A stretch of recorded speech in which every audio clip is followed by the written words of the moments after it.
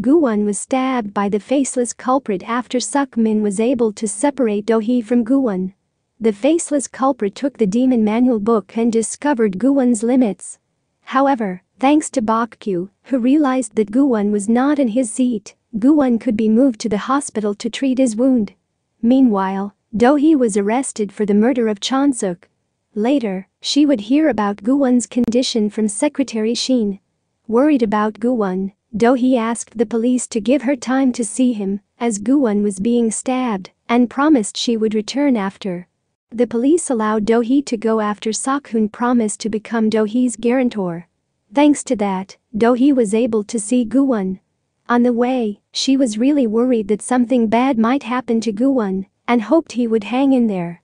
Arriving at the hospital, Do-hee faced Ga-young, who was angry with her. Ga-young blamed Do-hee for what happened to Guwon. As Bok-kyu tried to stop Ga-young's anger towards Do-hee, Do-hee had time to check on Guwon. She blamed herself for being late to see him. If she had come when Guwon hadn't lost consciousness, he would have been able to use his power to heal himself like before. Do-hee was even more worried about Guwon's condition after hearing what the doctor told her that Guwon might not make it through the night. Even so, it seemed that Guwon would regain consciousness, as Ga-young could be seen visiting Do-hee at her office the next day. This also meant that Do-hee was free of the murder charge. Ga-young, Again without knowing anything, blamed Do-hee for taking advantage of Guwon because Do-hee was not giving up on the chairman candidacy. Hearing what Ga-young told her really made Do-hee think about her decision and what was best for her and Guwon. She realized that when she was being separated from Guwon, he became a normal human like her, meaning he could also lose his life.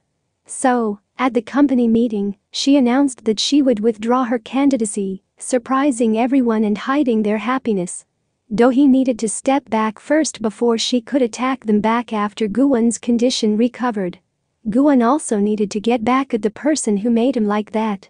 Don't miss the upcoming episode to witness Do-hee's bold decision to protect Guwon, who has become an important presence to her. I hope you guys enjoy this video.